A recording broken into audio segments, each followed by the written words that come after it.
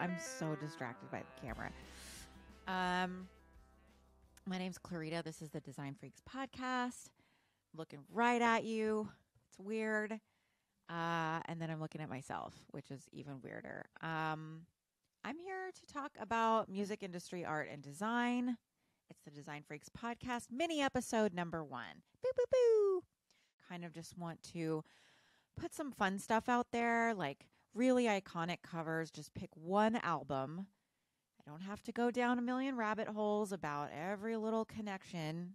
Um, and everything is like six degrees of Joy Division. I mean, there are so many connections to everything. It's unbelievable. I'm figuring out. So it's hard not to take those rabbit holes, those routes. But for these mini eps, I'm going to give you just let's talk about this one record. It's iconic, it's fun, you know it, you love it.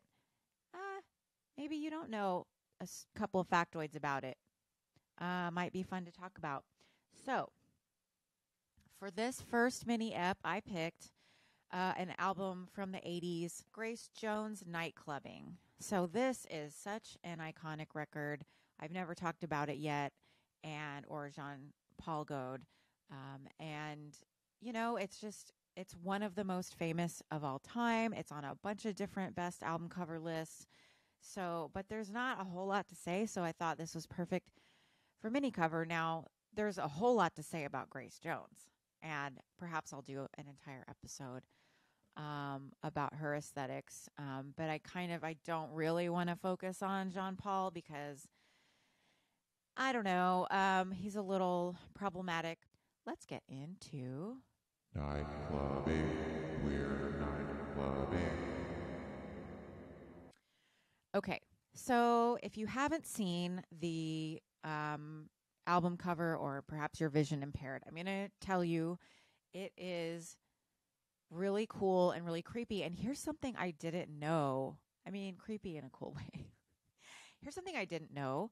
Um, it's it is a photo, um, but it's a painted photo. And everywhere I see credits for this record, um, that cover is listed as a painted photo. Um, so Jean Paul Go- Goude was um, he's known for manipulating photography, video, etc. Everything's manipulated. He considers himself a graphic artist, a graphic artist for that reason. And um, this album cover is definitely no exception. So here's Grace looking fierce and and just really cool and mysterious. Uh, she's wearing an Armani suit and the shoulder pads are something else. They are, it looks like, you know, it makes her look like a Picasso, just really angular. And that paired with um, her iconic haircut, the flat top. Anyway, there's like a mustard yellow background and then like super on top, super tracked out sans serif. It is a skinny typeface and it is very tracked out and says Grace Jones slash nightclubbing. Um, there's a bunch of covers on this record. Um, and see, this is where it's hard for me to only stick to the album at hand because uh, when I speak of Grace Jones and covers, I want to tell you that she was the first one to ever cover a Joy Division song um, with her from her album previous to this one called Warm Leatherette. She covered She's Lost Control by Joy Division. Deb Reggae, De- Debbie, Debbie Reggae, um, dub reggae, uh, sort of version of, and kind of an unhinged version of She's Lost Control, uh, which makes me really happy. And in fact, that song she uh, recorded while Ian Curtis was still alive. So yeah, maybe I should. I'll explain the album cover. Um, again in these mini eps i can't really go over everything i'm assuming you know a little bit about grace jones um, experimental artist and musician look her up. She's amazing. She was just on tour recently. I did not go but i loved all the videos and photos i saw. Absolutely incredible.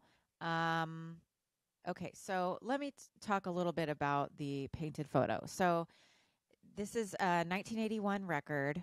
Um, it's a painted photograph titled Blue Black in Black on Brown. created in New York by John Paul.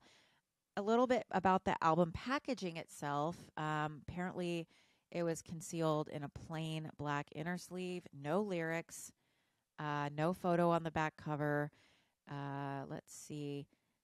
Yeah, it's just a bunch of the photo itself, bunch of right angles, uh, bare chested, dressed in Armani man's wide shouldered suit, sort of tapered at the waist, so very extreme looking, um, with an unlit cigarette aiming downward from her lip.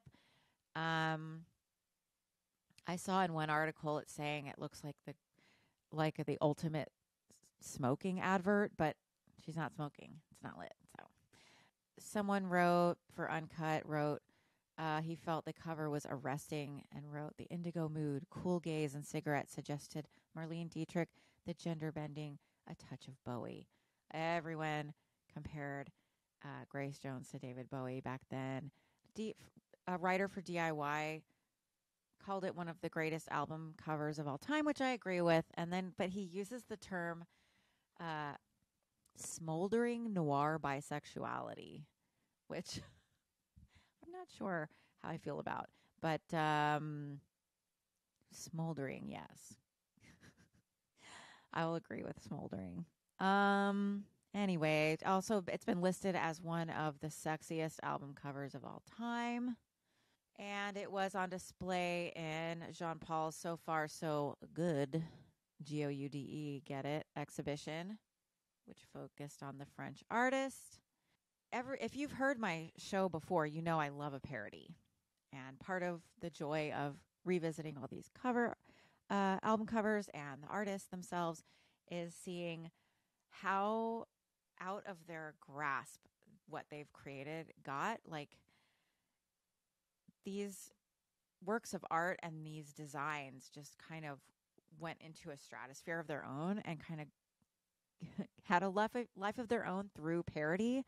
And if you look um, online, there's so many like Etsy uh, p- poster prints, framed, you know, eh, like someone did one to look like a Nagel painting. There's all different versions of this, like probably a macaroni version. And um, the one of my favorites is, but it's like an actual photo shoot. Uh, Tyler, the creator, parodied the photo. I mean, and it looks pretty close.